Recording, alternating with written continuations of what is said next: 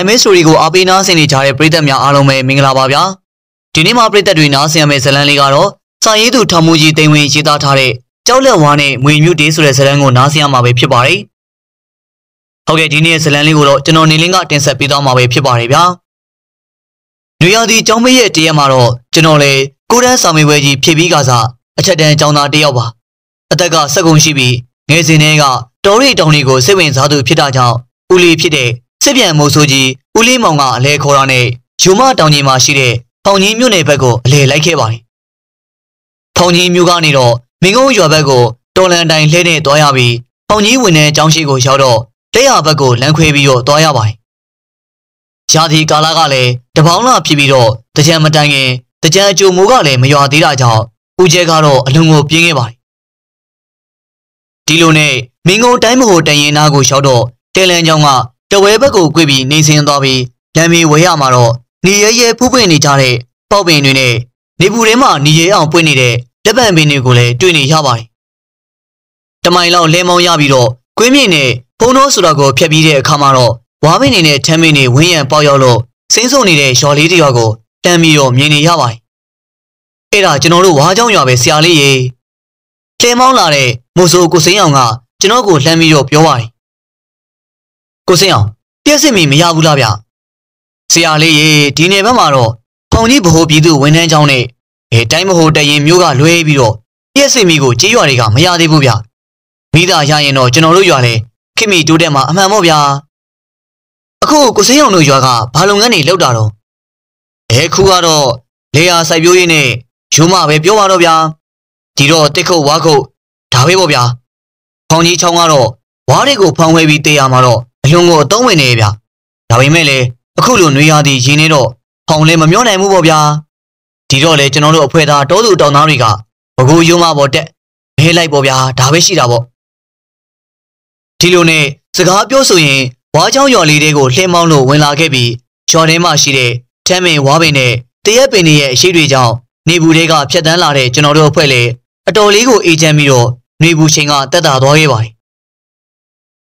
ဒီလိုနဲ့ရွာကန်မို့ဆိုကိုစိမ်းအောင်ရဲ့အိမ်ချံဝိုင်းထဲကိုရောက်တော့ယောက်ျားမိန်းမတချို့လည်းချက်ပြုတ်ကြော်လွန်နေကြပြီးကျွန်တော်တို့ကတော့မွန်နဲ့အာလူတို့ကမကြီးပင်ရဲ့အရှိအောင်မှာဝါစပွဲခင်းပြီးတော့ထန်းလက်ကလေးထိုင်နေချပေးပါတယ်။မုတ်ဆိုကြီးဦးလေးမောင်ကရှင်နွေးချမ်းပူပူကိုမှုတ်တော့ရင်းနဲ့လက်ဖက်အစုံတော့ကိုလည်းတစုံမြည်လိုက်ပါတယ်။ဟဲကောင်လေးငါကြိုက်တာလေးများအစီအစဉ်လုံးမထားဘူးလားကွ။မင်းတို့ကိုကြိုပြောထားရင်းနဲ့ကွာ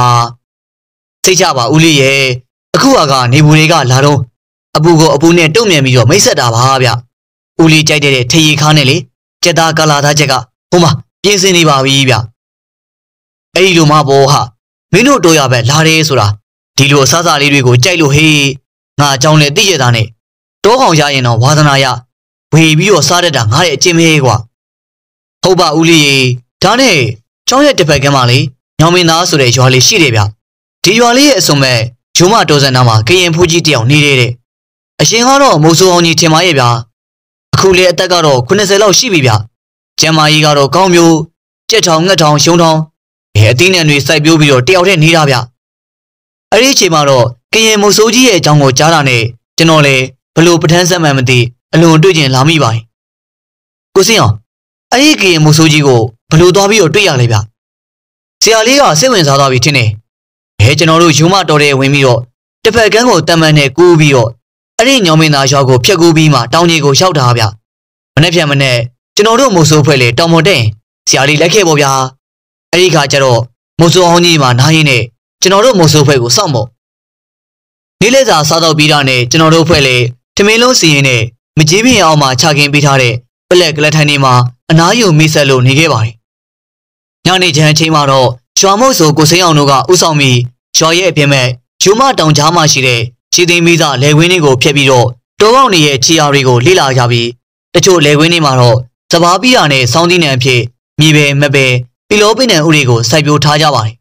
။မုဆိုးကြီးဦးလေးမောင်တို့အဖွဲကရွာကန်မုဆိုးကုစင်းအောင်တို့ပြသတဲ့တောကောက်နေရဲ့ခြေရာတွေအမှတ်သားတွေကိုလေ့လာပြီးတော့အစီအစဉ်ဆွဲကြပါတယ်။အရီနီညာကညသာစားပြီးတော့မုဆိုးကြီးဦးလေးမောင်နဲ့ရွာကန်မုဆိုးဖွဲ့လေတိုးလိုက်ထွက်ကြမယ်ဆိုတော့ကျွန်တော်လည်းအတွေ့အကြုံရစေဖို့လိုက်ပါခဲ့ပါတယ်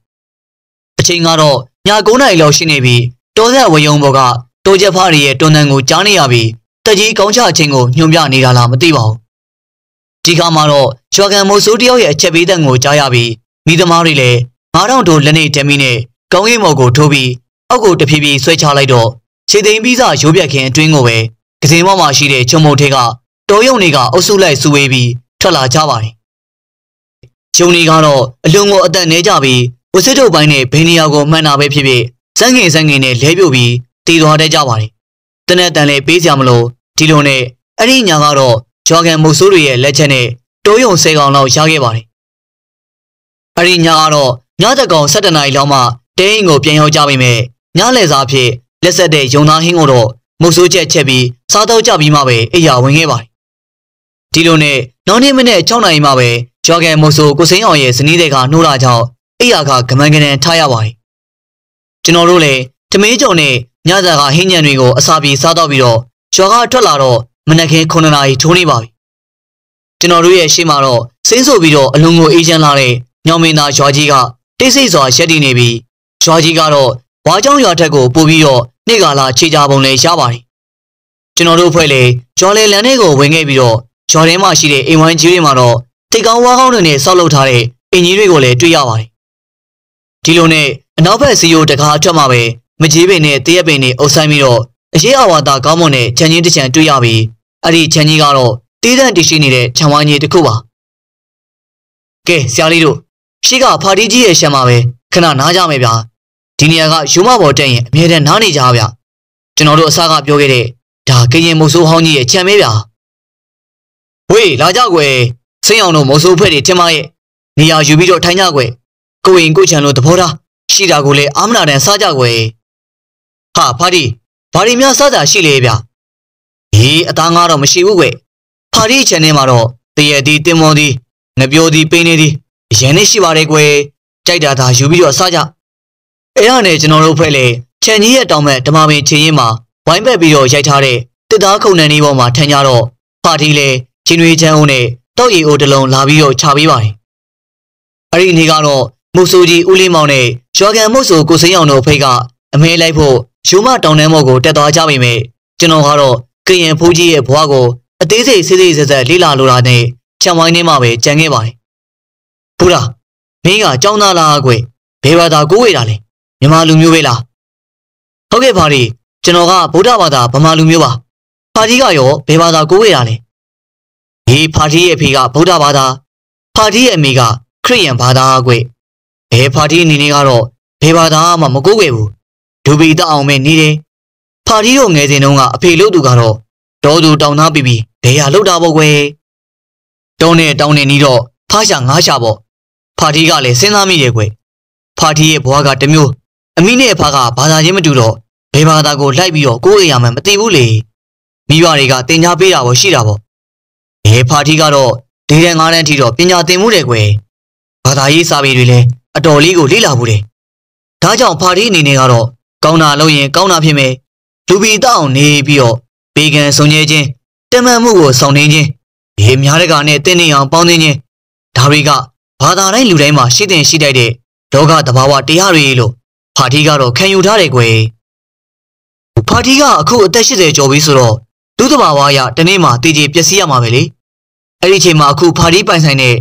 ဒီခြံတဲ့အိမ်နဲ့တင်းတဲ့မင်းတွေကိုဘယ်လိုလုပ်မှလဲ ဘသူ့ကိုလွှဲပြီးတော့ပေးမှလဲဩလူလေးကလည်းဥစ္စာပစ္စည်းကိုတက်မှတ်မှုမရှိပဲတန်ရောစင်ဖြတ်ပါတယ်ဆိုမှဘာနောင်ဖွဲ့တက်မှတ်မှုဆိုတာရှိမလဲကွယ်လူချင်းတဲ့သူယူပါစေပေါ့ဒါမှတဘာဝကြမယ်လေအဲ့ဒါကတော့ကျွန်တော်မမျောလိမ့်မယ်ဆုံးခဲ့ဘူးတဲ့တဘာဝတရားကြီးနဲ့ဒိုင်လျောညီတွေနေထက်တဲ့အဖိုးကိုတယောက်ရဲ့အကြောင်းပါဖာတီကျွန်တော်တို့ဘာချက်ပြီးတော့စားကြမလဲဟေးဟေးထုံးစံတိုင်းမို့ကွယ်ဓမျိုးတလုံးတဲအ သေးနဲ့တွေချက်စားတာပေါ့ဟိုခွာရောက်လာတော့လေအသေးရွက်တစ်ခုပဲကြော်ချက်ပြီးတော့စားတာပေါ့နော်ဟိုကျွန်တော်ချက်ပါမယ်ဖာတီရဲ့ဘာရင်ချက်ရမယ်ဆိုတာကျွန်တော်ကိုပြောပါအေးပါကွာရသတနာကိုဖာတီကမမှတ်ပါဘူးထမင်းနဲ့ဟင်းဖြစ်ရင်ပြီးတာပဲဖာတီတို့ကတော့ဘာကိုမှတက်မှတ်မောခြင်းမရှိဘူးကွစားလို့ရတာအကုန်စားတာပဲအဲ့ဒီလိုနဲ့ကျွန်တော်လည်းဖာတီတို့ရဲ့ချန်တွေတင်းနှံတွေကိုဟင်းချက်ပြီးတော့တချို့တရက်ကိုတော့ကြော်လော်ခဲ့ပါတယ် ဒီလိုနဲ့စားရင်တောင်းရင်စကားပြောရင်းနဲ့ဖာတီနဲ့ကျွန်တော်တို့လည်းတားဖလိုပဲအလုံကိုရှင်းပြီးသွားခဲ့ပါတယ်ညနေပိုင်းမှာတော့ဖာတီကခြံထဲမှာရှိတဲ့ရေတုံငင်ကိုနှိပ်ပြီးတေးပင်စားပင်တွေကိုရှေးလောင်းတော့ကျွန်တော်လည်းဝိုင်းကူညီပေးခဲ့ပါတယ်။ဖာတီကအဖို့ရတာကြောင့်အလွန်ကိုပီတိဖြစ်နေတဲ့ပုံစံလည်းရပါတယ်။ညနေဆောင်မှာတော့မုတ်ဆိုးကြီးဦးလေးမောင်နဲ့ကိုစိမ်းအောင်တို့ဖိတ်ကတောဝက်နှကောင်နဲ့ជីပေါက်တစ်ကောင်မြောင်းညွတ်တစ်ကောင်ရှားလာပြီးအဖရဲ့တဲမှာအနားယူရင်းနဲ့အင်းချက်ဖို့အတွက်လည်းအသားတွေပေးခဲ့ပါတယ်။ ဘိုးဘွားကြီးဖာတီရဲ့တဲမှာပဲညအိပ်ပါလားကွယ်ဒီညအသားဟင်းဆုံးဆုံးနဲ့ညစာထမင်းစားရမှာဆိုတော့ဖာတီတယောက်တည်းစားရမှာပြေးလာတယ်ကွယ်အဲ့ဒီခါမှာမိုးဆိုးကြီးဦးလေးမောင်ကအေးလူလေးဖာတီချန်ထဲမှာနေရတာပြောလားကွယ်ညရောက်တော့ဦးလေးတို့လည်းဒီဘက်ကအကွင်းထဲမှာမီးထိုးပြီးတော့အမဲလဲမှာအဲ့ဒါဒီဘက်ကိုလာရောက်မှာကွယ်ဟာဦးလေးအဲ့ဒါဆိုရင်တော့အတိုင်းထက်လုံမဲဗျာကျွန်တော်လည်းဖာတီချန်ထဲမှာနေရတာပျော်တယ်ဗျဖာတီကအရန်လဲခင်းဖို့ကောင်းတယ် ဒီလိုနဲ့ဦးလေးမောင်တို့ဖိတ်ကပြန်သွားတော့ကျွန်တော်နဲ့ဖာတီတို့လည်းညစာကိုတော့အသားဟင်းလျာစုံလင်စွာနဲ့ကောင်းမွန်စွာချက်ပြုတ်ပြီးတော့စားတော့ကြပါတယ်။ဟုတ်ကွာကြီးမင်းအဆောင်လက်ဖွဲ့ဆိုတာအယုံကြည်ရှိလား။ဟုတ်ယုံပါတဲ့ဖာတီရဲ့အေးကွအဲ့ဒီပစ္စည်းတွေကမယုံလို့လည်းမဖြစ်တဘာဝထက်လုံခဲ့ပြီးတော့ထူချာစမ်းကြံနေတယ်ဆိုတော့တချို့ကလည်းမယုံကြဘူးပေါ့ကွယ်။ဖာတီကတော့ဒီတိုးဆက်မှာတယောက်တည်းနေပြီးတော့မြစ်တာတရားကိုအဓိကထားပြီး တဘာဝနဲ့လက်လျောညီတွေနေထိုင်ကြင်ညံနေတာဆိုတော့ပဝင်းကြီးတောတောင်ဆောင်နှကောင်းနှမျက်တွေကလည်းချစ်ကြဟန်တူပါရဲ့ဒါကြောင့်လေဖာတီတယောက်တည်းဒီတော်ဆက်မှာနေထိုင်လာခဲ့တာဖာတီကတခုခုပြောချင်လို့လားကျွန်တော်ငယ်စဉ်တုန်းကတော့ကျွန်တော်ဖေနဲ့ဘောင်းမောင်တွေပြောကြတဲ့မိုးကြိုးသွားတော့အမြုပ်တီတို့ဒါတွေအကြောင်းတော့ကြားဘူးနာပါရှိပါတယ်ဘိုးကမင်းကအမြုပ်တီအကြောင်းကိုကြားဘူးလားလက်တွေ့ရောမြင်မှုလောက်ပဲ ဟိုကျွန်တော်ကြားဘူးတာတော့စုံပါတယ်ဖာတီရဲ့ဒါပေမဲ့မြင်မှုတာတော့အဖေတို့စမ်းသပ်ကြတဲ့မိုးကြိုးသွားနဲ့ဂျိုးမြုပ်တွေပဲကျွန်တော်မြင်မှုတွေဗျ။အော်အေးဒါဆိုရင်တော့ဖိုးဘကဒီတိတ်ကြီးဝင်ခံမီရပစ္စည်းတွေနဲ့မစိမ့်ဘူးလို့ပြောရမှာပေါ့။အေးကွာဖာတီးစီမှာတော့အိမ်မက်ရာဒူးပေါ်ထားတဲ့ကြောက်လက်ဝါတစ်ခုနဲ့ငွေမြုပ်တွေတစ်လုံးရှိတယ်ကွာ။ကြောက်လက်ဝါကတော့ယောဂဖြစ်ရင်စိမ်ပြီးတော့တောက်ရတယ်။အနာဖြစ်ရင်တွေးပြီးတော့လိမ့်ရတယ်ကွာ။ ဂျုံယိုကြည်ကြီးနဲ့လှုပ်တယ်ဆိုရင်တကယ်ပြောက်တယ်။အေးငွေမြုပ်တွေကတော့စောစောကဖိုးကပြောခဲ့တယ်လို့ဂျိုးမြူတီလိုပဲတိတ်ထိဝင်ခံမိရပစ္စည်းတစ်ခုကအဲသူ့အစွမ်းနဲ့တော့မတူဘူးပေါ့ကွာသူ့ကိုဆောင်းထားမယ်ဆိုရင်ငွေမျိုးမျိုးကိုနိုင်နေငွေတွေကြောက်ပြီးတော့ရှောင်ကြတယ်ကွယ်အဲတကယ်လို့ငွေစိုးအကြိုက်ခင်ရမယ်ဆိုရင်ဒါကိုတွေးပြီးတော့လိမ့်မိလိုက်ရုံပဲအစိတ်ရှိတဲ့ဘယ်ငွေကိုမစုံနိုင်တယ်လို့ပြောတယ်ကွယ်ဒါဆိုရင်ရန်ဝေါ်ဆောင်းတတ်တာပေါ့ ဒါပေါ့ကွယ်အဲ့ဒီပစ္စည်းတွေရရှိထားတဲ့သူကငါးပါးတီလာမြင့်မယ်တီလာဆင်ကျင်မယ်ဆိုရင်ဆရာတဆူနေနဲ့စိတ်ကူစားလို့တော့ရှားတယ်ကွယ်။ဖာတီကတော့အသက်ရွယ်လဲကြီးပြီးတော်တော်လာလာလည်းမရှိတော့ဈေးလည်းမကုတ်ပါဘူးကွယ်။အေးဒါပေမဲ့ကြုံပြီဆိုရင်တော့တရဝါတွေကိုကူညီကယ်တင်ရတာပေါ့။ဒါကြောင့်လဲဖာတီကစကားတွေအများကြီးပြောနေရတာ။တကယ်တော့အစွမ်းထက်တဲ့ဂမ်ဘီယာပစ္စည်းတွေကိုစောင်းပြီးတော့မတုံးရင်လည်းအလက်ကားပဲလေ။ တရဝါတွေကိုလည်းကယ်တင်ရရှောက်မှာပေါ့နော်။ဒါကြောင့်ဖိုးကားကိုဖာတီကတာဝန်ပေးခြင်းနဲ့ကွယ်ဈေးကူစားဖို့တော့မဟုတ်ဘူးကွ။တရဝါတွေကိုကြုံရင်ကြုံသလိုပုံကြီးကယ်တင်ကြီးဟာအလုံငုံမုံမြတ်တဲ့ကုသိုလ်တွေဖာတီတို့ရဲ့အသက်အရွယ်က80ကျော်ပြီဆိုတော့ဘလောက်ပဲကျမ်းမာရေးကောင်းတယ်လို့ပြောပေမဲ့အိုနာတည်ရေးဆိုတာကတော့အချိန်ကနီးလာပြီလေ။ဟုတ်ကဲ့ပါဖာတီကျွန်တော်တက်နိုင်ဆုံးတရဝါတွေကိုကူညီကယ်တင်ပါမယ်။ဟေးဒီလိုကယ်တင်တဲ့နေရာမှာလေ ကုသိုလ်တရားကိုရှေ့ရှုပြီးတော့စီးပွားဖြင့်မလှုပ်ကောင်းမှုကွယ်ကိုကကုသပေးလို့ဝေဒနာရှင်မှာအကျိုးမြတ်ဖြည့်ပြီးတော့စေတနာနဲ့ကြော့တယ်ဆိုတာကတော့ဘာမဆိုလက်ခံလို့ရတယ်လေ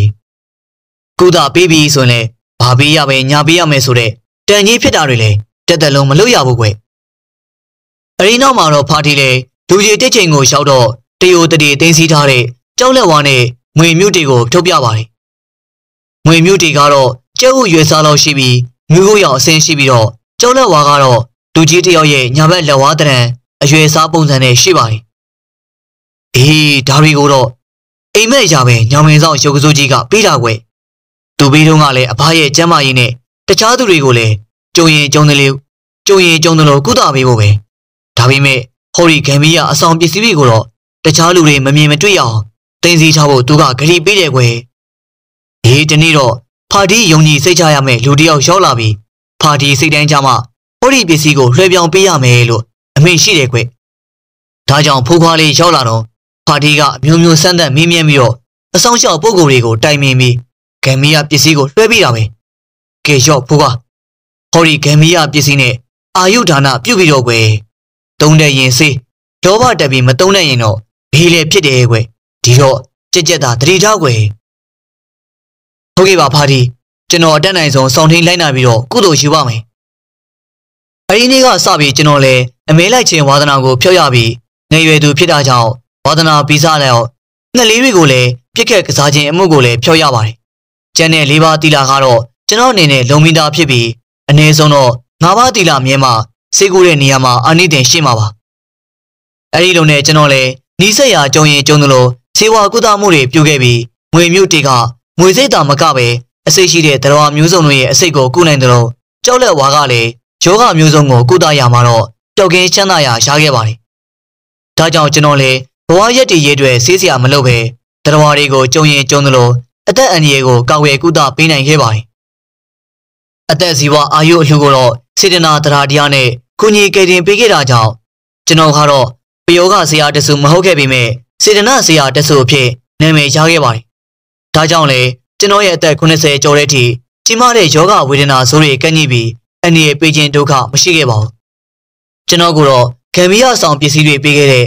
ပါတီလိုပဲကျွန်တော်အသက်80လောက်ကိုရှောက်လာရင်တော့ဂျုံကြီးစိတ်ချရတဲ့လူတစ်ယောက်ကိုရှောက်ဝေစုံစမ်းပြီးအများသူငါတရားဝအကျိုးတွေအာယုဌာနပြုလုပ်နိုင်မှုတွေ့ပြောင်းတာဝန်ပေးရအောင်ပါပါ။ဂမ်ဘီယာအဆောင်ပစ္စည်းဆိုတာကတော့တီလဆင်းရဲပြီးစေတနာတရားတရားရှိသူရဲ့လက်ထဲမှာပဲမြင်းမြတ်စွာတည်ရှိတဲ့ အဖိုးတန်သဘာဝတရားကြီးရဲ့လက်ဆောင်ပစ္စည်းတစ်ခုပါဟုတ်ကဲ့ပါဗျာဒီနေ့မှာပြည်သက်တွေနားဆင်ကြရတဲ့ဇလံလေးကတော့စာရေးသူထောင်မူကြီးတင်ဝင်ရေးသားထားတဲ့ကြောက်လက်ဝါနဲ့မွေမြုပ်တေးဆိုတဲ့ဇလံကိုနားဆင်ကြရတာဖြစ်ပါတယ်ဆက်လက်ပြီးတော့လည်းခုလိုမျိုးစိတ်ဝင်စားဖွယ်ရာဇလံတွေကိုတင်ဆက်ပေးမှဖြစ်လို့ကျွန်တော်တို့ရဲ့ channel လေးကိုစောင့်မျှော်နားဆင်အားပေးကြပါအောင်ဗျာပြည်သက်များအားလုံးပဲစိတ်ဤချမ်းသာခြင်းကိုယ်ဤကျန်းမာခြင်းနဲ့ပြည့်စုံပြီးတော့စီပါလက်လာပါများဒီရေလာတိုးတဲ့ကြပါစေဗျာ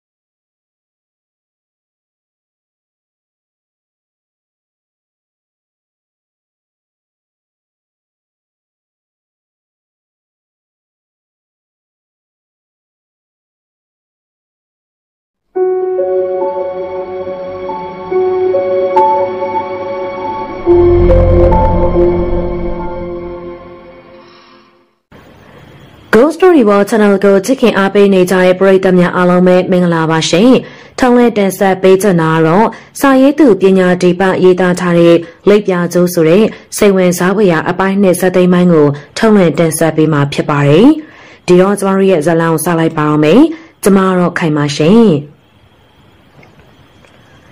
နောက်တနေ့မှာတော့နေမောင်ဟာတိမ်လုံးနဲ့လိုက်လံရှာဖွေလေတော့တယ်။ဒါပေမဲ့လည်းမြေတီတဲလွန်စာတစ်ခုတလေမှမတွေ့ရပေ။နောက်ဆုံးအိယာနဘေးမှာအန်ဆွဲကိုရှာဖွေတဲ့အခါမှာတော့အိယာအစ်ဝယ်ယူတဲ့ပေါချာတွေအောက်ကနေတခြားပေါချာတစ်ရွက်ကိုတွေ့ရလေတော့တယ်။ဒါအင်ကြီးချုပ်ဖို့ဆိုင်မှာအထားခဲ့တဲ့ပေါချာပဲ။ဒီမှာလိပ်စာလဲပါရလေ။အဲ့ဒီကိုသွားပြီးစုံစမ်းမယ်ဆိုရင်တော့တဲလွန်စာတစ်ခုခုရနိုင်နေ။ဒီလိုတွေးမိတဲ့အတွက်အဲ့ဒီစာရွက်ကိုယူဆက်ချုပ်ဆိုင်ရှိရာစီကိုတွားရောက်ပြီးတော့ကြည့်လေတော့တယ်။ ဆိုင်ရှင်ကပေါချာစာရွက်ကိုကြည့်ပြီးတော့အံ့ဩနေတာ။ဒီဆိုင်မှာဂျူတီကုန်းနဲ့ဘောင်းမေချုပ်ဖို့အထားခဲ့တာပါ။ဒါပေမဲ့ရွေးရမယ့်ရက်ထက်3လကျော်သွားတာကြောင့်ပရိုက်တာကေအောင်လှူလိုက်ပြီးပြီမလို့စိတ်မကောင်းပါဘူးဗျာကိစ္စမရှိပါဘူးကျွန်တော်ကလာပြီးတော့စုံစမ်းကြည့်တာပါအရင်သူကဒီဆိုင်မှာပဲချုပ်နေကြပဲလားဟုတ်ပါတယ်ဖောက်တယ်တွေဆိုတော့သူ့နာမည်ရောကျေးဇူးပြုပြီးတော့သိနိုင်မလားသူ့နာမည်ကဒေါက်တာမေရီချူပါစိန့်စပီတာဆေးရုံကဆရာမတယောက်လို့တော့ထင်တာပါပဲ အခုလိုအကူအညီပေးတာကျေးဇူးတင်ပါတယ်ဗျာ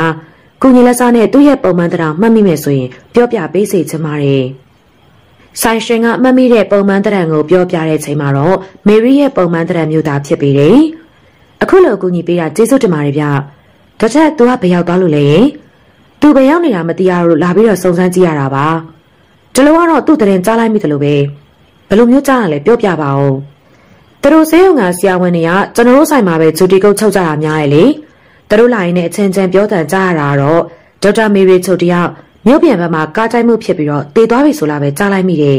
။အေးဗျာအခုလိုပြောပြတာကျေးဇူးတင်ပါတယ်။ကျွန်တော်ကတခြားရောက်နေရကြပြီမှအခုကိုပြန်ရောက်လာလို့ဒီအကြောင်းတွေဘာမှမသိသေးတာပါ။သွားပါအောင်မယ်နော်။နေမောင်ကဆိုင်ရှင်ကိုနှုတ်ဆက်ပြီးရနောက်ပြန်ထွက်ခဲ့လေတော့တယ်။ဂျင်တဆန်နဲ့ပတ်သက်ပြီးတော့လေးလာတည်ခဲ့ရတဲ့အကြောင်းအရာတွေကဆိုရင်တော့တော်တော်များများရှိလေတယ်။ ပထမလူလဲပြီးသွားတဲ့ခါမှာတော့ဂျင်တဆန်ကနေမောင်ကိုလက်ခံတွေ့ဆုံနေသူ့ရဲ့အသီးသန့်တွေ့ဆုံကမ်းမှာပင်တွေ့ဆုံခြင်းဖြစ်ပေတယ်။တနေ့နေ့မှာတော့ခမည်းကျွန်တော်စီကိုရောက်လာလိမ့်မယ်လို့မျှော်လင့်ထားပါတယ်။ကဲကျွန်တော်ဗာများကူညီပေးရမလဲပြောပါ။ကျွန်တော်သူနဲ့ပတ်သက်တဲ့အနာဂတ်ချိန်တွေကိုပုံမှန်လင်းလင်းပဲသိချင်ပါတယ်။ကျွန်တော်အာယုံနဲ့မျက်နှာကိုပြောရမယ်ဆိုရင်တော့သူကမျောလင်းချက်လုံးဝမရှိတော့တဲ့ချိန်တွေမှာရောက်နေတဲ့ချိန်တွေမျိုးတော့မဟုတ်ဘူးဗျ။အသက်ရှင်ဝင်တော့သူ့မှာရှိနေသေးတယ်။ ဒါပေမဲ့အတော်လေးတော့ယာကိုင်တော့နင်းနေတာ။ပုံမှန်လင်းလင်းပြောရမယ်ဆိုရင်သေမဲ့ဘက်ကရာခိုင်နှုန်း85ရာခိုင်နှုန်းလောက်ရှိနေမယ်ဆိုရင်တော့အသက်ရှင်ဝင်က25ရာခိုင်နှုန်းလောက်ပဲရှိတော့တာဗျ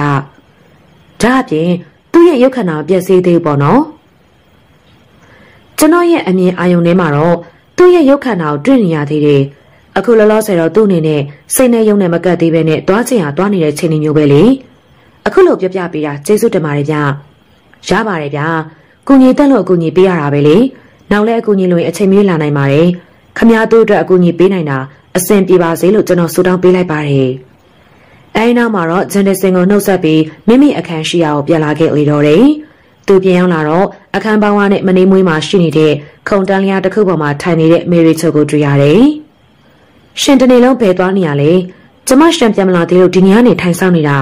။ကျွန်တော်ခမားเจ้าကိုသိရအောင်လိုက်ပြီးတော့စုံစမ်းနေတာ။ တည်တဲ့လောက်တော့သိခဲ့ရပါပြီ။အိမ်ထဲရောက်မှပဲပြောပြပါမယ်။မနက်ကကြပြကြရထွက်သွားတာအခန်းထဲမှာတော့ကြံနေခဲ့ပြီးနေတူတယ်။ဒါဆိုရင်တော့ကျမလျှို့ဝှက်ထားတဲ့တော့ပိုတစ်ချောင်းရှိတယ်။ဟိုဘက်နားမှာချိတ်ထားတဲ့မိတပ်ပူရအောက်မှာအံဝဲရှိတယ်။အဲ့ဒီအံဝဲထဲမှာကျမထည့်ထားတဲ့တော့ပိုတစ်ချောင်းရှိရလေ။အဲလိုပြောတဲ့အတွက်သွားကြည့်လိုက်ရသူမပြောတဲ့အတိုင်းတော့တစ်ချောင်းကိုတွေ့ရတဲ့အတွက်အရီတော့နဲ့ဖွင့်ပြီးအိမ်ထဲကိုဝင်ရောက်လေတော့တယ်။ အိမ်ထဲကိုရောက်တော့မှနေမောင်ကသူ့စုံစမ်းခဲ့ရတဲ့အကြောင်းအရာတွေကိုပြောပြတယ်။ခမရဲ့နာမည်ကမေရီချိုးတဲ့မေရီချူဟုတ်လားဟုတ်တယ်ခမရစိတ်ပီတာဆေးရုံကဆရာဝန်တယောက်ပဲဒါဖြင့်ကျမဘလို့ဖြစ်ပြီးတော့ဒီလိုပွားမျိုးရောက်နေရလဲတသေးချာချာတော့မသိခဲ့ရသေးဘူးကျွန်တော်ထင်ပြောရမယ်ဆိုရင်တော့ခမရတနေရာမှာမော်တော်ကားအက်ဆီဒန့်ဖြစ်ခဲ့တဲ့ပုံရတယ်ကကားအက်ဆီဒန့်ဟုတ်လားဟုတ်တယ် ဒါပေမဲ့တသေးချာချာတော့မသိခဲ့ရသေးဘူးဒီထက်သေးချာအောင်နောက်တနေ့မှာစိတ်ပီတာဆေးရုံကိုသွားပြီးစုံစမ်းကြည့်မယ်ဆိုရင်ဒီထက်ပိုပြီးတော့သိရနိုင်တယ်လေရှင်လဲကျမနဲ့တွေ့မှအတော်လေးပင်ပန်းပြီးတော့အလုပ်ရှုပ်နေရရင်နော်ရပါတယ်ကြုံကြိုက်လို့အကူအညီပေးရတာပဲကျွန်တော်လည်းအခုလိုကူညီပေးရတာကိုစိတ်ဝင်စားပါတယ်ဒီလိုပြောလိုက်လေတော့တယ်စိန့်ပီတာစေယုံကြီးမှာမြဘက်ကိုသွားတဲ့လမ်းကျိတ်တစ်ခုကြီးရဲ့အစွန်ဆုံးနေရာမှာတိတ်တက်တည်ရှိတဲ့အဆောက်အဦသားဖြစ်ပေတယ် စေယုံပေါရောက်တဲ့အချိန်မှာတော့မေရီချိုကဒီစေယုံကိုကျမသိနေတယ်လို့ပဲသိနေတာတခြားမဟုတ်ပါဘူးဒီစေယုံကခမရအလုပ်လုပ်ခဲ့တဲ့စေယုံပဲလေဟိုမှာတွေ့နေတဲ့လူတွေကိုလည်းကျမအားလုံးသိနေတယ်ဟိုမှာဖြတ်သွားတာဒေါက်တာမော်လီသူကခွဲစိတ်ပါရကိုတယောက်ပဲရှင်နဘေးကဖြတ်သွားတာမာဂရက်တဲ့သူကသူနာပြုဒါပေမဲ့တမန်ဆရာဝန်နဲ့ထပ်ပို့ပြီးတော့ကျွမ်းကျင်မှုရှိတယ်ဟိုးအပဝနာမှာကောင်တာတစ်ခုရှိတယ်အဲ့ဒီကောင်တာမှာထိုင်နေတဲ့အမျိုးသမီးကရှယ်ရီတဲ့ သူကကျမနဲ့အတော့ရင်းနှီးခင်မနာသူ့စီသွားပြီးတော့ကျမအကြောင်းမေးကြည့်ပါလားဒီလိုပြောတဲ့အတွက်ကောင်တာမှာရှိတဲ့အမျိုးသမီးရှိရာစီကိုရှောက်သွားလိတော့တယ်။ဘာများခုညီပေးရမလဲ။ဟိုခမရရှယ်ရီဆိုတာလား။ဟုတ်ပါတယ်။ရှင်ကဘာတူလဲ။ကျွန်တော်နာမည်နီမောင်လို့ခေါ်ပါတယ်။ဒေါက်တာမေရီချုံနဲ့ရင်းနှီးတဲ့မိတ်ဆွေတယောက်ပါပဲ။မေရီကရှင်เจ้าကိုတခါမှမပြောဘူးပါလား။ဘလို့များပတ်သက်နေရလဲ။ချစ်သူလို့ပြောလိုက်ဒါမှသူယုံကြည်မှာ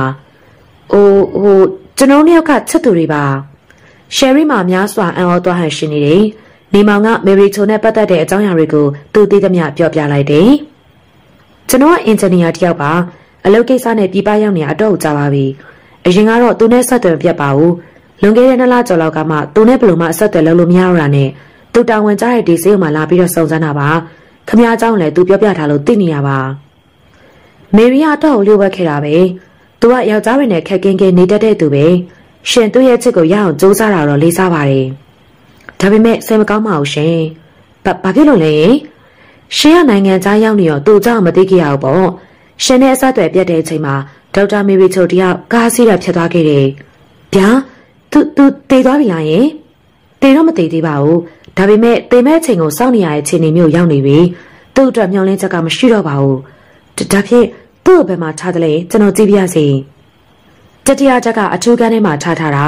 ကျမစာရေးပေးလိုက်ပါမယ်။အဲဒီမှာတာဝန်ကျဆရာတယောက်ရှိရလေ။သူ့စီမှာခွင့်တောင်းပြီးတော့ဝင်တွေ့နိုင်ပါတယ်။ကျမဂျူတီချိန်မျိုးလိုင်းပပို့ပေးနေတာခွင့်လုပ်ပေးပါ။ကျေးဇူးတင်ပါတယ်ဗျာ။ရှယ်ရီကစာရွက်ပေါ်မှာစာတစ်ကြောင်းနှစ်ကြောင်းရေးပြီးတော့သူ့လက်ထဲကိုထည့်ပေးလိုက်တဲ့အတွက်အဲဒီနေရာမှာထွက်ခဲ့လေတော့တယ်။ကျွန်တော်ကဒီစိတ်ုံကြောင့်ဘာမှမသိဘူး။ဘယ်နေရာနေဘလို့သွားမှလဲ။စိတ်မပူပါနဲ့ကျမသိပါတယ်။ ဇင်းချန်လန်းတိုင်းလျှောက်သွားပြီးတော့လက်ဝဲဘက်ကိုချုပ်ကွေးလိုက်ရင်ဒက်လီကာကိုတွေ့လိမ့်မယ်။ဒက်လီကာနဲ့တတိယတက်ကိုသွားရမယ်။အပေါ်ချက်ကိုရောက်တော့တီးတန့်ကန်တော်တော်များကိုတွေ့ရလေတော့တယ်။အထူးကန်းကဘယ်မှာရှိရလဲ။ဟိုးနောက်ဘက်မှာရှိတာ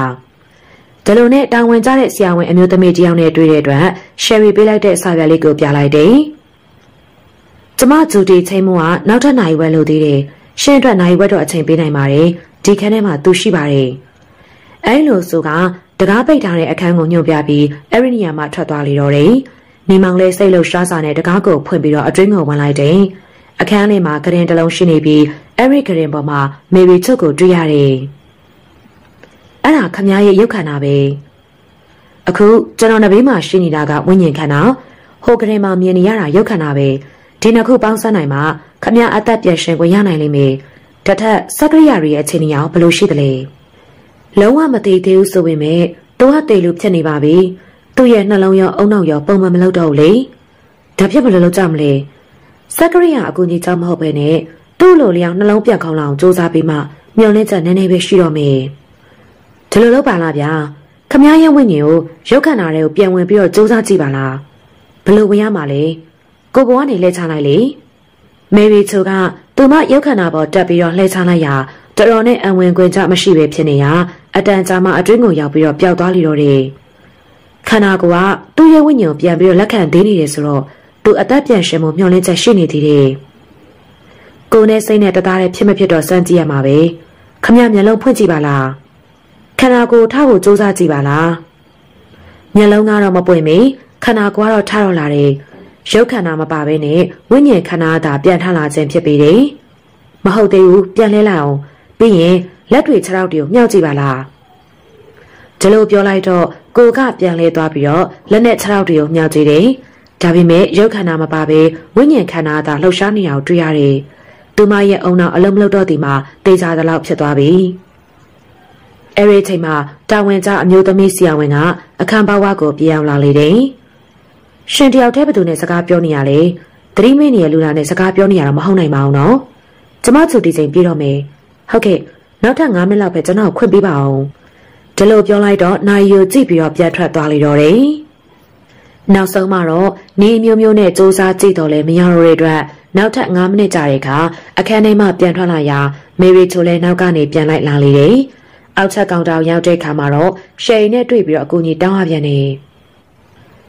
မယ်ရီချိုနဲ့ပတ်သက်တဲ့ဆွေမျိုးသားချင်းတွေရဲ့လိပ်စာရှင်ကူညီပေးပါအောင်များသူ့မှာအမတယောက်ပဲရှိတယ်ကျမလိပ်စာပေးလိုက်ပါမယ် စိတ်ုံမှာထွက်လာပြီးရဲ့နောက်ရှယ်ရီပေးလိုက်တဲ့လိပ်စာအတိုင်းသွားတွေ့လေတော့တယ်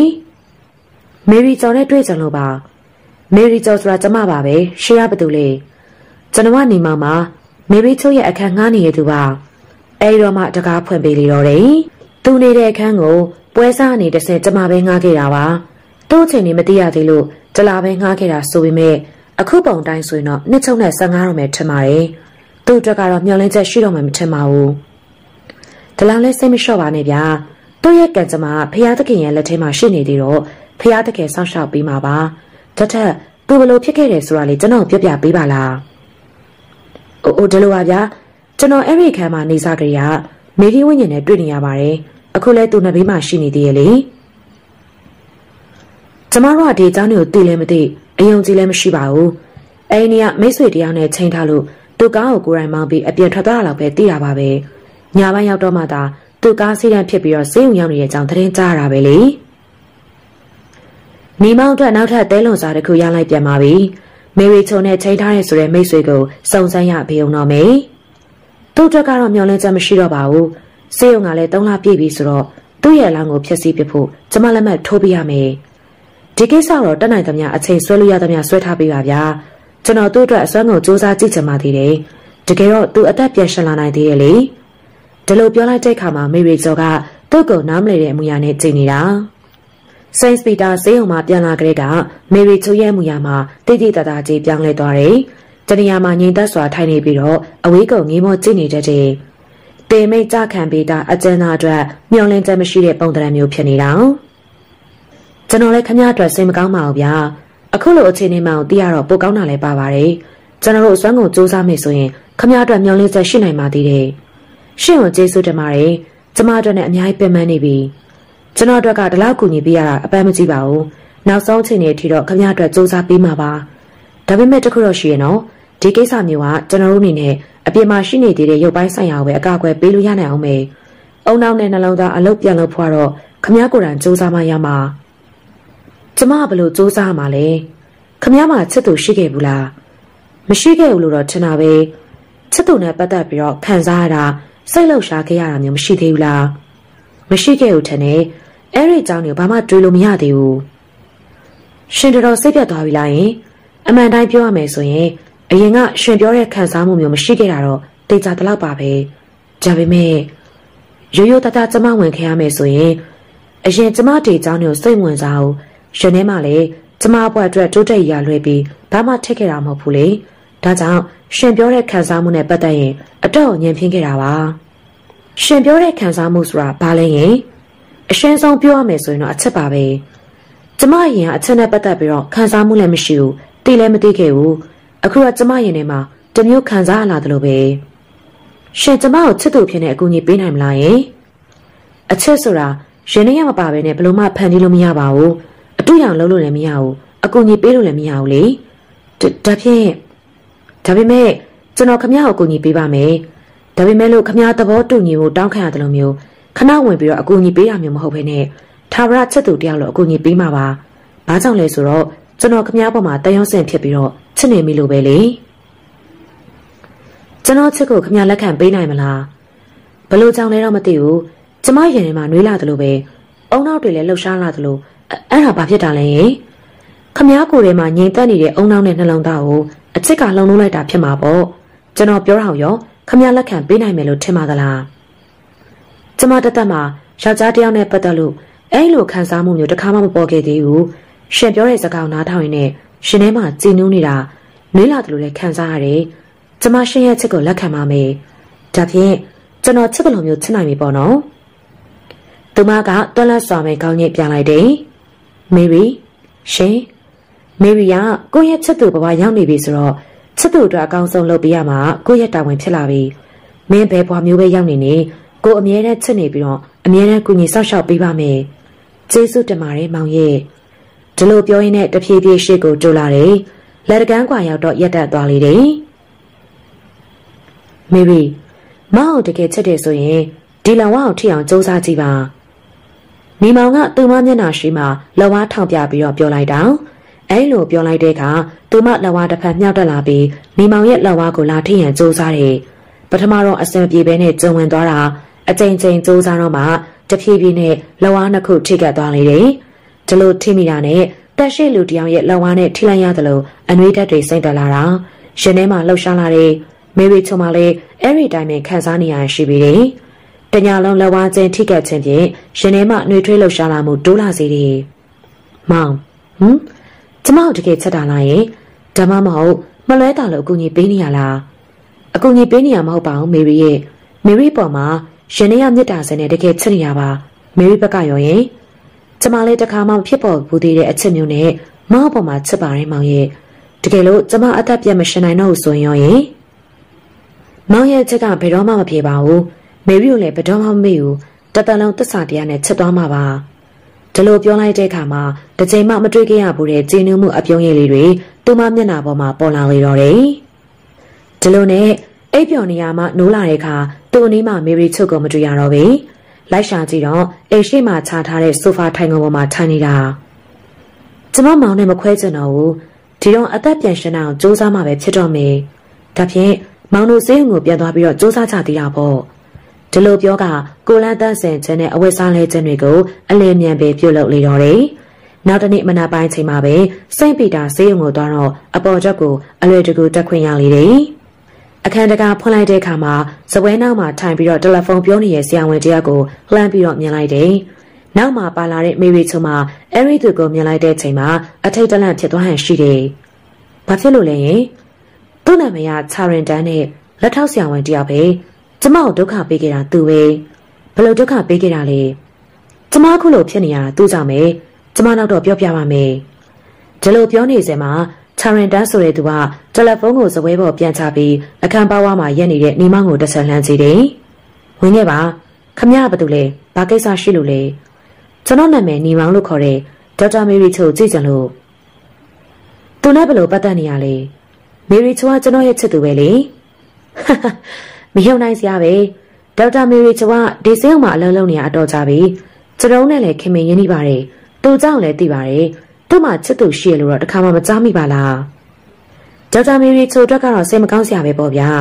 သူ့အချိန်ကြီးကလုံးဝမျောလင့်ချက်မရှိတော့ဘူးဒီလကောင်ထိပဲသူ့ကိုဒီမှာထားခွင့်ရှိတော့တယ်သူ့ရမလက်မှတ်ထိုးပြီးပြီဆိုရင်တော့သူ့ကိုဒီမှာထားရမှာမဟုတ်ဘူးလေကျွန်တော်သူ့ကိုကြည့်စင်ပါတယ်ကောင်းပြီလေခမရတော်တော်နောက်ဆုံးခွင့်ရပေးရမှာပေါ့ ခမရသူ့ကိုနိုင်ဝက်လောက်တော့တွေးခွင့်ရှိပါတယ်ပြောစရာမှားစရာတွေကိုတခါတည်းတာမှားပေါ့ဗျာဒီလိုပြောပြီးခွင့်ပြုလက်မှတ်ရေးပေးလိုက်လေတော့တယ်နေမောင်ကမေရီချိုရဲ့ဝိညာဉ်ကိုခန္ဓာကိုယ်တွင်းကိုဝင်ခိုင်းပြီးတော့အမျိုးမျိုးစူးစမ်းကြည့်တော့လေအချိန်ကြီးကတော့မထူလာပြီ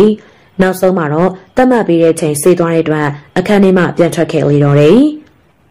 အခန်းကိုပြန်ရောက်တဲ့အခါမှာနေမောင်ကချာရင်တန်နဲ့ပတ်သက်တဲ့အကြောင်းအရာတွေကိုမေးရမေရီချိုကအကြောင်းအရာစုံကိုပြောပြလေတော့တယ် ချာရင်တန်ဟာမေရီချိုနဲ့လှုပ်ဖော်ကိုင်းမဲ့ဆရာဝန်တဦးဖြစ်ပြီးတော့မေရီချိုပေါ်မှာစိတ်ဝင်စားနေရသူမယ်ရီချွာတော့စိတ်ဝင်စားပဲနဲ့ပုံမှန်တိုင်းသာဆက်ဆံခဲ့တာတနေ့ညစာစားပွဲတစ်ခုမှတွေ့ရချာရင်တန်က၎င်းမှကားမပါလာတဲ့အတွက်မေရီချုံနဲ့လူကြုံလိုက်လေတယ်လမ်းတစ်လျှောက်လုံးမှာလည်းသူ့ချက်ကိုလက်ခံပြီးရန်နီးမျိုးမျိုးနဲ့ပြောလာတာချာရင်တန်ရှင်ပြောနေရတော့ကျမလုံးဝစိတ်ဝင်စားဘူးအခုရှင်ရဲ့ဆောင်ပြတ်မှာမလားကားကိုဘယ်နေရာမောင်းနေရလဲ အဆောင်မပြန်ချင်သေးဘူးဒီခွေမျိုးကရခဲ့တယ်ဆိုတော့မယ်ရီနဲ့အေးအေးဆေးဆေးစကားပြောချင်သေးရဲ့လေတနေရာသွားကြရအောင်။အိုးကျမမလိုက်ချင်ပါဘူး။အခုချက်ချင်းကားကိုပြန်လှည့်ပေးပါ။အေးစစ်စစ်စကားပြောမှာပဲကွာ။မေရီကိုလက်ဖြားနေတာမထိပါဘူး။အိုးမရပါဘူး။ကားကိုပြန်လှည့်လိုက်ပါ။နောက်ဆုံးစိတ်မြန်လက်မြန်ရှိတဲ့မေရီချူကကားစတီယာရင်ကိုဆွဲလင်းလိုက်လေတော့တယ်။အော်ရင်ဟင်းရင်နဲ့ကားကလမ်းဘေးကိုထိုးဆင်းသွားပြီးတော့တစ်ပင်နဲ့အရှယ်ပြင်းဆောင်ဝင်ဆောင်မိသွားတာ။ ချာရင်တန်ကတော့ကံကောင်းထောင်းမစွာနဲ့ဘာတခုမှဖြစ်ခဲ့တော့လေကန်ဆိုးရှာတဲ့မေရီချိုခမညာမှာတော့အခုလိုဘဝချင်းနေမျိုးရောက်ခဲ့လေတော့တယ်ဒီလူကအတော့ရုံမာတဲ့သူပဲတို့ကြောင့်လူတရားအခုလိုပွားမျိုးရောက်နေရတာဟန်မပြတ်နေနိုင်နဲ့နော်သူကကျမကိုသိစေချင်နေရလေကျမတတိပြန်ရလာမယ်ဆိုရင်သူ့ရဲ့ရုံမာပုံတွေပေါ်မှာဆိုတော့မြန်မြန်တည်သွားဖို့တောင်ဆူတောင်းနေမှာပေါ့အဲ့ဒီအကြောင်းတွေသိခဲ့ပြီးရဲ့နောက်ပိုင်းမှာတော့ နေမောင်တယောက်ထဲမလုပ်တော့ဘဲနဲ့သူ့ရဲ့မိတ်ဆွေဂျက်ဖရီကာကဖုံးဆက်ပြီးတော့အကူကြီးတောင်းလိုက်တော့တယ်ကျွန်တော်သူ့အတွက်နောက်ဆုံးချိန်တွေစူးစမ်းကြည့်ပြရစီရှင့်အတွက်ကျမတို့လည်းစိတ်မကောင်းပါဘူးမေရီချွာကျမတို့နဲ့ရင်းနှီးတဲ့မိတ်ဆွေတယောက်ဆိုတော့ကျမတို့လည်းတက်နိုင်သလောက်အကူအညီပေးပါမယ်ကျမဖုန်းနံပါတ်ကိုလည်းယူထားပါရှင်းနဲ့ဆက်သွယ်လို့ရမယ်ဖုန်းနံပါတ်လေးကျမကိုပေးထားပါအကြောင်းထုတ်ရင်ဖုန်းဆက်ပေးပါမယ်အဲ့ဒီရက်အတွင်းမှာမေရီချိုမှမေရီဂျွန်နဲ့သွားတွေ့ရသေးတယ် သူကမေရီချိုအတွက်လက်မှတ်ဖြိုးပေးရမယ်သူပဲလေစိတ်မကောင်းပါဘူးကျမလည်းကျမရဲ့ညီမကိုဒီလိုပဲလုပ်ပေးချင်ပါမလဲကျမလက်မှတ်ထိုးပေးလိုက်တာနဲ့သူ့ကိုဒီတိုင်းမထားကြတော့ဆိုတာသိပါတယ်ဒါပေမဲ့ကျမအတွက်လက်ကုံရက်ထိပဲရနိုင်တော့မှာမို့ကျမလည်းစိတ်မကောင်းပါဘူးမေရီကျောင်းနေနဲ့ဖြစ်နိုင်မယ်ဆိုရင်တက်နိုင်သမျှအချိန်ဆွဲထားပြီးပါကျွန်တော်နောက်ဆုံးချိန်ထိသူ့အတွက်စူးစမ်းမှာပါတရက်မှာဒေါက်တာမော်လီထံကနေတယ်လီဖုန်းဝင်လာတယ် ဆေးရုံမှာအန်ဝတ်ဆရာတခုတွေ့နေရလို့ရှင့်စီဖုန်းဆက်ပြီးတော့ပြောတာပါဒေါက်တာချာရီတန်ကမေရီချိုကိုစိတ်ဝင်စားနေပြီးတော့သူ့ချက်ကိုရဖို့စူးစမ်းနေမှလည်းကျမတို့သိပါတယ်အခုတော့မေရီချိုကိုဆေးရုံကဖယ်ရှားပေးဖို့သူကိုယ်တိုင်ဥဆောင်ပြီးလုပ်နေအောင်တွေ့ရရဲ့လေရှင်တို့အတွက်အချိန်တော့တိတ်မကြံတော့ဘူးကိုနီမောင်စူးစမ်းမယ်ဆိုရင်ဒီရက်ထဲမှာပဲအမြန်စူးစမ်းစေချင်တယ်အခုတော့အတီးပေးတာကျေးဇူးတင်ပါတယ်ဗျာကျွန်တော်အစွမ်းကုန်စူးစမ်းပါမယ်နောက်ထပ်ချိန်နေထူးခြားရင်လည်းကျွန်တော်စီကိုဖုန်းဆက်ပေးပါအောင်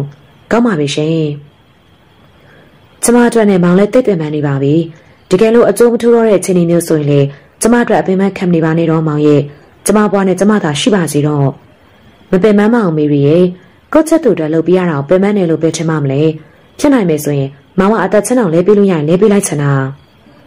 ဒီလိုပြောလိုက်တဲ့အခါမှာမျက်ရည်ဝဲတဲ့ကြည်နေနဲ့ကြည်နေတယ်ပြီးမှလက်ဝါးဖြန့်ပေးရနေမောင်ကသူမလက်ဝါးဘုတ်ကိုသူ့လက်နဲ့ထိပေးလိုက်တယ် အဲ့ဒီထိတွေးမှရတဲ့နှွေးထွေးမှုတော့သူတို့အတွက်ဘယ်တော့ခါမှမေ့နိုင်တော့မှာမဟုတ်တော့ပါကြည်နောက်တနေ့မနက်ပိုင်းမှာတော့ဒေါက်တာမော်လီကတယ်လီဖုန်းဆက်ပြီးတော့ပြောလေတယ်ကိုနီမောင်ပြောရမယ့်တရားတော့မကောင်းပါဘူးဒေါက်တာမေရီချိုဆက်သွယ်ပေးထားတဲ့ကိရိယာတွေတခုမှလှူရှားမှုပြတော့ဘူးကျမတို့လည်းအတက်နိုင်ဆုံးစူးစမ်းပေးကြတာပါပဲဒါပေမဲ့ဘလို့မှမတက်နိုင်ကြတော့ပါဘူးလေဖျားသခင်ရဲ့အလိုတော်တိုင်းလို့သာမှတ်ယူလိုက်ပါတော့ရှင် မတက်တာတဲ့အချိန်လေးကိုရောက်ခဲ့ပြီဖြစ်တဲ့အတွက်ညနေပိုင်းချိန်ကိုရောက်တော့ဒေါက်တာမော်လီထံမှဖုန်းထပ်ဝင်လာပြန်တယ်ကိုနီမောင်ကြီးဒီနေ့ပဲမေရီချိုရဲ့အမလက်မှတ်ထုတ်ပေးလိုက်ပြီးမနေ့ပြန်ဆိုရင်မေရီချိုရဲ့လောင်းသူတို့လာတဲ့သွားကြတော့မယ်ရှင်ဘယ်လိုလုပ်ချင်တယ်လဲကျွန်တော်ကတော့မေရီကိုသူတို့လက်ထဲမထည့်ပေးချင်သေးဘူးမေရီယာသူ့ရဲ့ရုပ်ခန္ဓာအဖြက်စီးမခံရမချင်းအသက်ရှင်ခွင့်ရှိနိုင်သေးရဲ့လေဒီတော့ဘယ်လိုလုပ်မလဲကျွန်တော်သူ့ကိုလိုချင်တယ်သူတို့မဖြက်စီးခင်မှာတနေရာယူသွားပြီးတော့ထပ်ပြီးတော့စူးစမ်းကြည့်ချင်သေးရဲ့ သက်ဆိုင်တဲ့အမဖြစ်တဲ့သူကတော့အလောင်းကိုဖြက်စီးဖို့သဘောတူကြောင်လက်မှတ်ထိုးပေးပြီးမှတော့ရှင့်နေနဲ့ဘယ်လိုမှယူခွင့်ရှိတော့မှာမဟုတ်ဘူးကျွန်တော်ရရအနေနဲ့ဖြစ်အောင်ရှုမှာပါအဲလိုစူးစမ်းမယ်ဆိုရင်ရှင့်ကိုတရားဥပဒေအရအေးအေးယူတာခံရလိမ့်မယ်နော်သူ့အပေါ်မှာရှင့်ဘယ်လောက်တန်ရုံးစင်ရှိတယ်လဲဆိုတာကျမတို့နားလေပါတယ်ဒါပေမဲ့အသက်မရှိရတဲ့လူတယောက်ပေါ်မှာတော့မျောလင်းချက်တွေဆုံးလွတ်လိုက်တဲ့နေသူတို့အားလုံးကမေရီကိုတေးသွားလိုက်ပြီလို့သတ်မှတ်ထားကြတာမေရီကိုပေါ်မှာတက်ဆင်ထားတဲ့ကိရိယာတွေကလည်းအလုံးမလုံးကြတော့ဘူးလေဒါကြောင့် မေရီရဲ့အမမေရီကျော်ကအလောင်းကိုဖျက်ဆီးဖို့သဘောတူကြောင်လက်မှတ်ထိုးပေးလိုက်ပြီလို့ဖုန်းဆက်ပြောထားမေရီရဲ့ဟင်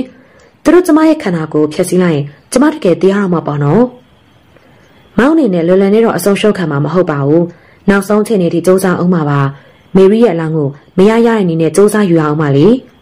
လွယ်ရမလားမောင်ရဲ့တကယ်လို့ဖမ်းမိသွားရင်ဥပဒေရအရေးယူတာခံရလိမ့်မယ်နော်ချစ်သူရဲ့အသက်ကိုတင်မက်လက်တရားလူယူရတဲ့အခြေအနေမျိုးမှာဥပဒေနဲ့ရင်ဆိုင်ရရင်လေ ပေးသမျှအပြစ်ကိုမောင်းခံမှာပါဒါပေမဲ့မေရီလောင်းကိုတော့မရရတဲ့နည်းနဲ့ယူရမယ်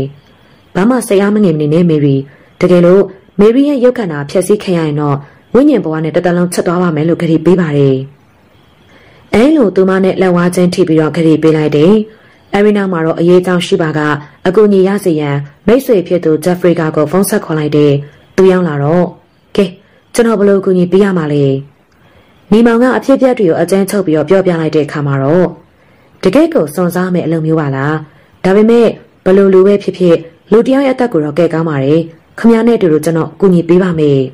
။အဲဒီနောက်ညနေပိုင်းချိန်မှာဈေးရုံမှာတာဝန်ကျနေတဲ့ဆရာဝန်တယောက်နဲ့တူအောင်လို့ဂျူတီကုတ်တီကိုပြောင်းလဲဝစ်ဆောင်ပြီးသူတို့ရဲ့အစီအစဉ်ကိုအကောင့်ထဲဖော်ကြလေတော့တယ်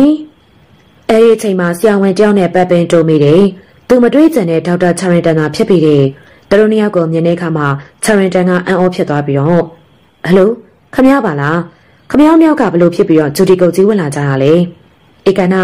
မေရီချိုလောင်းကိုနောက်ဆုံးနှုတ်ဆက်ဖို့လာကြတာထင်ပါရဲ့။ sorry ဗျာဒီညတော့ဒီထူးခန်းလေးကိုဘသူ့အမှဝင်ခွင့်ပေးတော့လို့ဝမ်းနေပါတယ်။အဲလိုဆိုတော့လေကိုနီကိုဟန်နဲ့ဝင်ရအောင်လုပ်ရတော့မှာပေါ့။နေမောင်ကလက်သီးနဲ့တစ်ချက်ထိုးချလိုက်ရာချာရင်တန်မှကျမ်းမြင့်ဘော်ကိုဝုန်းကနေပြုတ်ကျသွားပြီးတော့ပြန်ထမလာနိုင်တော့ပြီ။ မယ်ရီချုံရဲ့ခန္ဓာကိုတင်ထားတဲ့ကရင်ကိုအခန်းပြင်ကိုတွန်းထုတ်ကြတယ်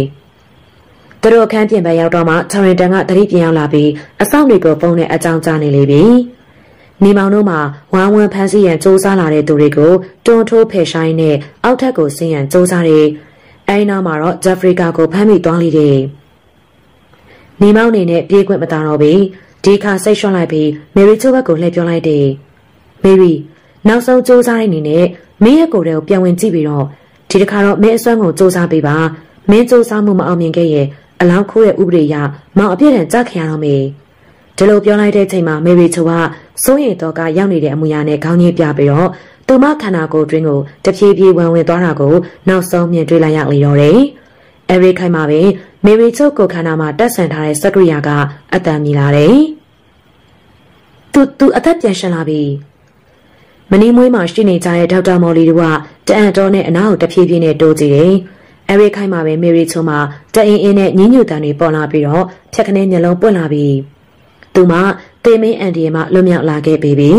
။သူမမျက်စိဖွင့်လိုက်တာနဲ့ငုံချင်းနေတဲ့ဒေါက်တာမော်လီကိုမြင်တွေ့သွားရာကောင်းစွာမှတ်မိသွားလိတဲ့။မော်လီ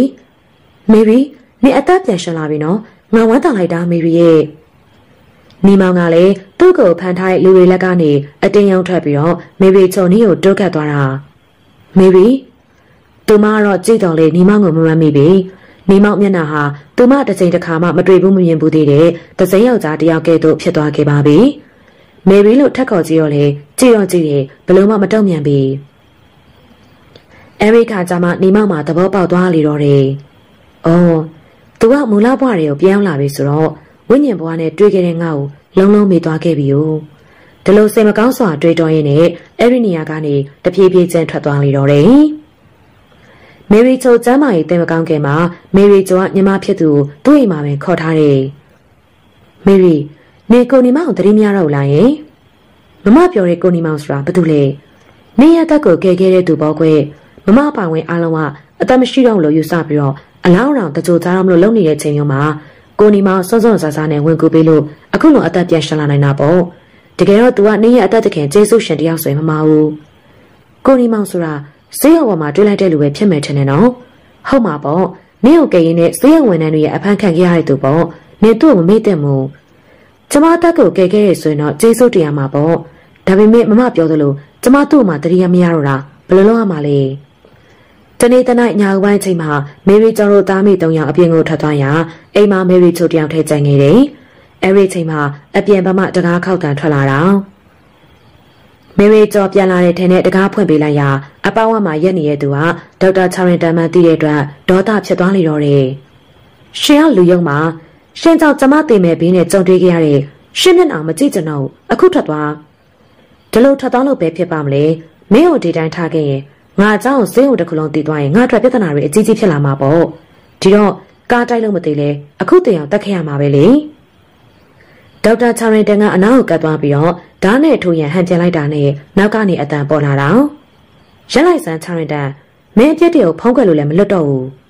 လှဲကြည့်လိုက်တဲ့အချိန်မှာတော့နောက်မှရက်နေတဲ့ညီမကိုတွေ့ရတဲ့အတွက်ဒေါသတကြီးနဲ့ဓာတ်နဲ့ပြေးထိုးလိုက်ရာ အနီးနားရောက်တော့မှလွတ်အောင်ရှောင်ပြီးရင်ဝါကိုလက်သိမ်းနဲ့ထိုးချလိုက်ရာဓာတ်တခြားလူတခြားဖြစ်ပြီးတော့လဲကျသွားလေတော့တယ်မေရီချွာတော့ညီမကိုဒုတိယကြိမ်မြင်တွေ့ရတဲ့အတွက်တအံတော်ဖြစ်နေတာမေရီနင်းအသက်ကို तू ကနှစ်ခါမြောက်ကယ်ပေးလိုက်ပြန်ပြီမေရီကျော်ကတအံတော်နဲ့ပြောလိုက်လေတော့တယ်ထလုံးနဲ့အခန်းကိုပြောင်းလာပြီးမေရီချုံမှာတစုံတယောက်ကိုတရိယာတခဲတို့ဖြစ်လာပြီးတော့နေရာနဲ့လိုက်လံရှာဖွေနေလေတော့တယ်ညီမလေး နင်ဘာရီရှာနေရလဲကျမစိတ်ထဲမှာတခုခုလိုနေတယ်လို့ပဲနင်းပစ္စည်းတွေဘာတစ်ခုမှခြေရလဲရမပြတ်ပါဘူးဟဲ့မနေ့ကျတော့မော်လီတို့ဖွဲ့လာကြလိမ့်မယ်လေအဲလိုပြောပြီးတော့မေရီကျော်ကပြန်သွားလေတော့တယ်အဲ့ဒီချိန်ကျမှမေရီချုံမှာတယောက်တည်းမနေတတ်မထိုင်တတ်တယ်လို့ဖြစ်နေပြီးတနေရာပြီးတနေရာလိုက်ကြည့်နေတာဒီမှာငါတယောက်တည်းနေခဲ့တာပါပဲငါဘသူ့ကိုရှာနေရလေဒီလိုနဲ့နီမောင်ကော်ဖီစွန့်ပေးသွားတဲ့နေရာကိုတွားကြည့်လိုက်လေတော့တယ် ငါဒီအစုံခွက်လေးကိုသိနေတယ်လို့ပဲဘာဖြစ်လို့ဒီနေရာမှာအစုံခွက်ပေါ်နေရတာလဲညနေပိုင်းချိန်ကိုရောက်တော့အပြင်ဘက်မှတကားဖွင့်တယ်လို့လို့ကြားရတဲ့အတွက်အံ့ဩသွားတယ်နေမောင်ကိုမြင်တဲ့ချိန်မှာအံ့ဩသွားတယ်လို့နေမောင်ကလည်းသူမကိုမြင်တဲ့အခါမှာအံ့ဩသွားလိမ့်တယ်ဟမ်ရှင်ရှင်ဒီနေ့ကိုဘယ်လိုဝင်လာတာလဲတောင်းမှန်ပါတယ်ဗျာကျွန်တော်ကခမားဒီခန့်ကိုပြန်မလာသေးမှလို့ဝင်လာတာပါကျမတော့ပိတ်ထားတာပါဘလို့ဖွင့်ပြီးတော့ဝင်လာတာလေ အိမ်ရှိပေါင်းဝမှာရှိတဲ့မိသက်ဘူးအောင်မှာထားတဲ့တော့ပုံနဲ့ဖွင့်ဝင်ခဲ့တာလေအဲ့ဒီတော့ထားတာကျမတယောက်ပဲတည်းရဲ့လျှို့ဝှက်ကိစ္စပဲရှင်ဘလို့သိရလေကျွန်တော်တို့တစုံတယောက်ကအသေးပေးထားခဲ့လို့ပါကဲထားပါတော့လေရှင်ခုပါလာလောက်တာလေကျွန်တော်ကြောင့်ခမရအိပ်ရခင်ပေါ်မှာကော်ဖီတွေစွန်းနေပါတယ်လဲပေးပါမယ်လို့ကြိပေးထားခဲ့ပြီးတော့လာလဲပေးတာပါတခုတော့ခွင့်နှောင်းများစီဘာလဲအဲ့ဒီအိပ်ရခင်အဟောင်းလေးတော့ကျွန်တော်ပြန်ယူသွားပါရစေ ဒီလိုပြောပြီးသူယူလာတဲ့အိပ်ရခင်အစ်စ်ကိုမေရီချိုလက်ထဲကိုထည့်ပေးလိုက်တယ်အိပ်ရခင်အစ်စ်ကိုလဲပြီးတော့အဟောင်းကိုနေမောင်းကိုပေးလိုက်ရာတေချာစွာခောက်ယူတယ်ကျေးဇူးတင်ပါတယ်ဗျာကျွန်တော်ခမရကိုတခါလေးနှုတ်ဆက်ခဲ့ပါတယ်ဟမ်ရှေ့အဖေကိုသွားမှမလို့လေကျွန်တော်မြန်မာပြည်လာတဲ့ဧည့်သည်တယောက်ပါအခုအလုပ်ကိစ္စတွေပြီးလို့ပြန်တော့မှမလို့နှုတ်ဆက်တာပါတထက်ရွှက်လက်မရဘာတူလဲနီမောင်မဒီဒီမရှင်လာတဲ့ကျမရဲ့တော့ပြန်ထားခဲ့အောင်လေ မေရီချိုကလဝါဖြန့်ပြီးတော့သူကလဝါပေါ့ကိုတော့တင်ပေးလိုက်ရာလဝါချင်းထိသွားနေရောတယ်မေရီချိုရင်ထဲမှာနှွေးကနေဖြစ်သွားပြီးတကူလုံးလျှက်ဆက်နဲ့ထိလိုက်တဲ့ကဲ့သို့တုံလို့သွားလိတာနီမောင်ရဲ့မျက်နှာကိုလေအတန်ကြာမောကြည့်နေတယ်စိတ်ထဲမှာလည်းဇဝေဇဝါဖြစ်နေတာအတန်ကြာတော့မှရှက်ကိုရှက်ကမ်းမူရနဲ့လက်ကိုပြန်အောင်လိုက်တယ်အဲ့ဒီနေ့ညတညလုံးပူနေတဲ့လဝါပြင်ကိုပုတ်တန်ရင်နဲ့မေရီချုပ်ခမတညလုံးမအိမ်နိုင်တော့ဘူး ကိုနီမောင်ဆိုတာငါနဲ့ဘလို့ပတ်သက်ခဲ့ရလဲတကယ်လို့ပတ်သက်ခဲ့တယ်ဆိုရင်သူအားကြောင့်ဖွင့်မပြောပြခဲ့ရလေသူကမြမပြိုပြန်တော့မယ်လို့နှုတ်ဆက်သွားတယ်အဲ့လိုဆိုရင်နောက်ထပ်သူနဲ့မတွေ့နိုင်တော့ဘူးငါဘယ်လိုလုပ်ရမလဲဒီလိုနဲ့နောက်တနေ့မနက်ပိုင်းချိန်မှာပဲသူမနဲ့လှုပ်ဖော်ကိုင်ဘက်တွေဖြစ်ကြတဲ့ဒေါက်တာမော်လီရှေရီတို့တွေအစားအသောက်တွေနဲ့ရောက်လာတယ်ဟဲ့မေရီကို့ကိုတေးချောင်းကျန်တဲ့လူတယောက်အခုလိုဒုက္ခရောက်သွားတာနေဝမ်းမတောင်လားဝမ်းတာပါတယ် နေကြည့်ရမျက်နှာလည်းမကောင်းပါလားဘာဖြစ်နေရလဲပြောပါဦးငါသတိမေ့နေရဘယ်လောက်ကြာသလဲအဲ့ဒီကာလာမှာဘာတွေဖြစ်ခဲ့သလဲနင်တို့သိတဲ့လောက်ပြောပြပေးကြပါဦးနင်သတိမေ့နေရနှစ်လကျော်လောက်ကြာရလေအဲ့ဒီအချိန်မှာကိုနီမောင်နဲ့ချစ်သူတွေဖြစ်ခဲ့ကြတယ်လို့သူကပြောတယ်သူနဲ့ငါနဲ့ချစ်သူတွေဖြစ်ခဲ့ကြတယ်ဟုတ်လားဟုတ်တယ်သူကနေ့ပေါ်မှာအတော်လေးကောင်းရှာပါတယ်သူစောင့်ရှောက်ပေးခဲ့လို့နေခုလိုအသက်ပြန်ရှင်ခွင့်ရတယ်ဆိုရင်မမအောင်လေချာရတန်ရဲ့အန်နီယိုလေသူပဲကောက်ွယ်ပေးခဲ့တာနင်အသိပဲမဟုတ်လား နင်သူ့ကိုလုံးလုံးသတိမရတော့လားယင်ငါလောလောဆယ်မှာဘာမှစမ်းစားလို့မပေါ်သေးဘူးဒါပေမဲ့ဒီခန်းကိုပြောင်းလာတော့တယောက်ကိုတတိယနေတယ်လို့တခုခုလုံးနေတယ်လို့ဖြစ်နေတာငေါ့လာပြီးတော့နှုတ်ဆက်သွားပြီးမြမပြူပြန်တော့မယ်လို့ပြောသွားတယ်တကယ်တော့ကိုနေမောင်ကဘဝလက်တွဲပေါ်ဖြစ်နေအာကိုထိုက်တဲ့ယောက်ျားတစ်ယောက်ပါပဲဟာဒါကတော့နင်ကိုယ်တိုင်ဆောက်ဖြတ်တဲ့ကိစ္စပဲလေဒါဆိုငါဘယ်လိုလုပ်တယ်လဲယင်မတင်မကြတဲ့ကိုကိုကိုဒုက္ခပေးနေတဲ့အဖြစ်မျိုးနဲ့တော့ကြာရှင်းမနေတဲ့မို့တခြားသူနဲ့မသိညံ့ရင် ဖြေရှင်းလို့ရနိုင်သေးတယ်စိတ်နဲ့လူနဲ့ပြိပခတ်ဖြစ်ရင်တော့ဖြေရှင်းရတာခက်တယ်နော်ငါတို့သဘောပြောရမယ်ဆိုရင်နင်သူနဲ့တွေ့ပြီးတော့ပုံမှန်လင်းလင်းဆွေးနွေးတဲ့နယ်လို့ထင်တာပဲနင်ကိုယ်တိုင်စောက်ဖြတ်ပေါ်မီရီရဲ့ဒီလိုနဲ့နေမောင်စီဟာစီကိုရောက်သွားတဲ့အချိန်မှာတော့ကျမကိုနေမောင်နဲ့တွေ့ကြလို့ပါရှင်ဒေါက်တာမေရီချင်မဟုတ်လားဟုတ်ပါတယ်ကိုနေမောင်ကတော့ခမည်းအကြောင်းအတော်လေးပြောပြသွားပါတယ်ရှင်သူကပြန်ရောက်သွားပြီလေသူဒီကနေ့ပဲမြန်မာပြည်ကိုပြန်ဖို့သွားခဲ့ပြီလေ မေရီချုံမှာဝီလီယံရောင်မနှုတ်ဆက်ရန်တရင်မရတော့ဘဲနဲ့အပြင်ကိုပြန်ထွက်ခဲ့လေတော့တယ်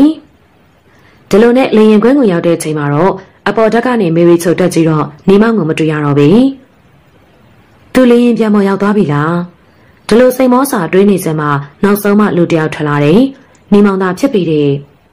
ကိုနေမောင်ကိုနေမောင်မေရီချိုကအောက်ထက်ကိုဆင်းသွားပြီးအဆောင်တွေကိုပင်ခွင့်ပန်ကသူရှိရကိုခြေလန်းတက်တက်နဲ့တွားလေတယ်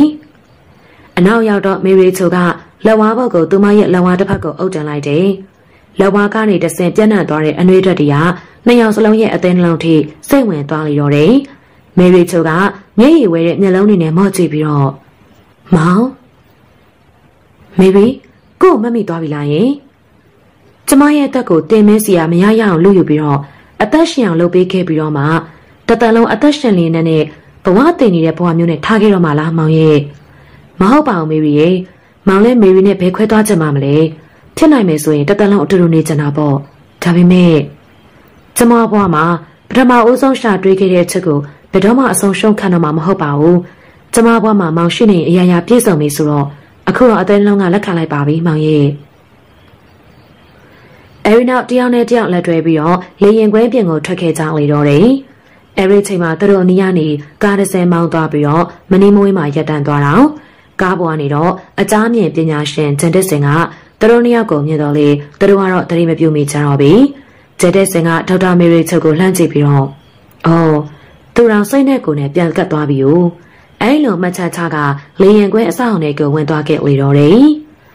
ဒီကနေ့ရဲ့ Ghost Story ပေါ်ချန်နီယာနေထောင်းလဲတင်ဆက်ပေးခဲ့တာကတော့စာရေးသူပညာဒီပရေးသားထားတဲ့လိပ်ပြကျုပ်ဆိုတဲ့စိတ်ဝင်စားဖွယ်ရာအပိုင်းနှစ်စက်သိမ်းပိုင်းကိုထောင်းလဲတင်ဆက်ပေးခဲ့တာပါ နောက်တစ်ခေါက်တည်းရဲ့ Ghost Story ပေါ် channel မှာဆိုရင်လေပရိသတ်တွေကြားနေသက်စေမဲ့အကြောင်းအရာတွေကိုသာဆက်လက်ရွေးချယ်ထောင်းလဲတင်ဆက်ပေးမှာဖြစ်တဲ့အတွက်စောင့်မျှော်ကြည့်ရှုအားပေးချစ်ခင်ကြပါအောင်လို့ပြောကြရင်လည်းဒီနေ့စိတ်ဆန်းနဲ့နှုတ်ဆက်လိုက်ပါတယ်အခုလိုမျိုးကျမတို့ရဲ့ channel ကိုအဆက်တစိုက်ချစ်ခင်အားပေးကြည့်ရှုတဲ့အတွက်ကျေးဇူးတင်ပါတယ်ရှင်။အေးချမ်းပျော်ရွှင်ခြင်းတွေကိုသာအစံထာဝရပိုင်ဆိုင်နိုင်သူတွေဖြစ်နိုင်ကြပါစေလို့ဆုမွန်ကောင်းတောင်းရင်းနဲ့နှုတ်ဆက်လိုက်ပါတယ်